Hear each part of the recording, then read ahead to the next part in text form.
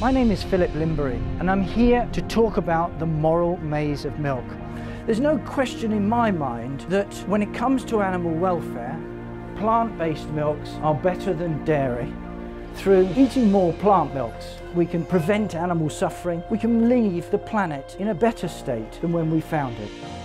I saw intensive dairies where cows are bred to produce so much milk that their bodies are forced to do the metabolic equivalent of you or I running a marathon every single day. Rearing cows on pasture is much better for their welfare. It limits the scope for pushing them beyond their physiological limits in pursuit of ever more milk.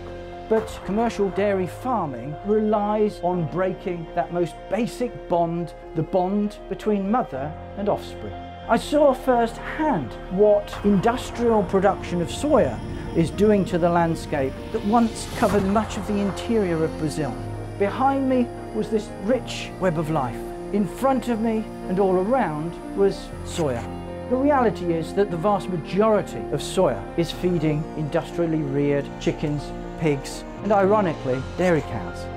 If that soya was produced not in chemical-induced monocultures, but was produced in mixed rotational farms without the chemicals, on existing farmland rather than deforested lands, then it would be much better environmentally. If it were feeding people directly, that would be even better too.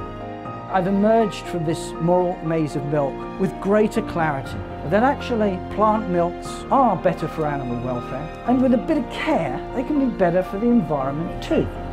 We all have the power to cut out a lot of farm animal cruelty and save wildlife through eating more plant milks, ensuring particularly that they're organic and ensure that any livestock products that we do buy is better coming from pasture-fed, free-range or organic.